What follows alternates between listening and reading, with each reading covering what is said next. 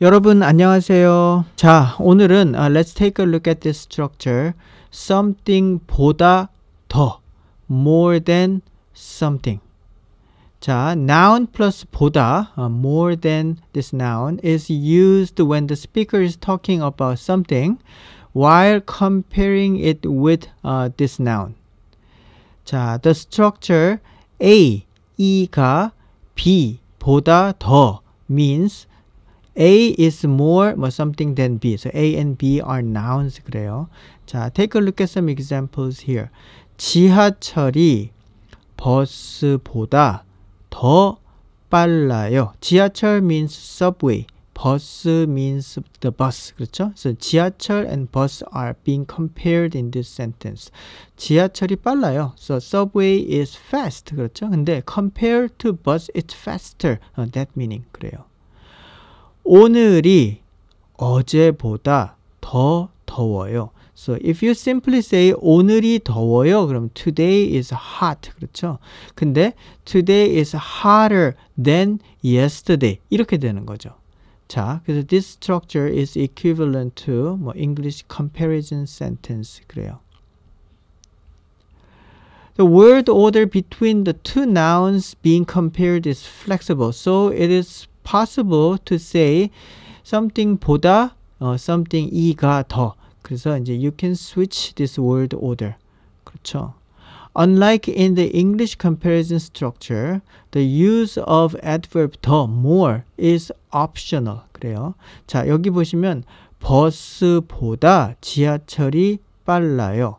뭐, or 지하철이 버스보다 빨라요. Same meaning. 그렇죠? 뭐 anyway, 음, this noun plus 보다 그러면 compare to this 뭐 that meaning 그래요. So compare to bus, the subway is faster. 그렇죠? 그다음에 어제보다 compared to yesterday, today is hotter. 그렇죠?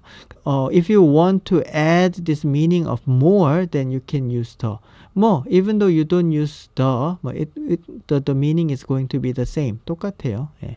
버스보다 지하철이 더 빨라요. When it is clear uh, what is being compared from the context, it is possible to omit uh, something 보다. So if someone asks you like 말하기 하고 쓰기 중에서 어느 것이 더 어려워요? 그래서 뭐뭐 중에서 그러면 between these, 뭐 among these 그런 뜻이에요. 그래서 말하기 하고 말하기 speaking, 쓰기 writing. So between 말하기 and 쓰기 writing 어느 것 which one is 더 more difficult?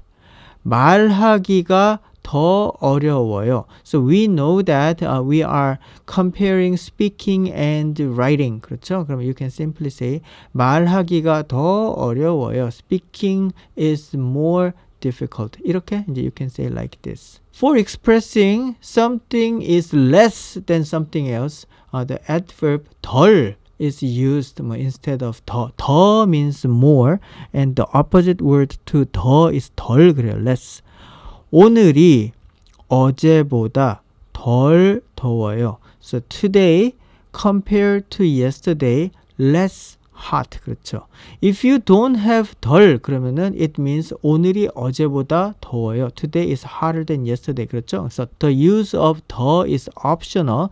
Uh, but if you want to express that something is less or something than or something else then you have to use this word 덜 그래요. 덜.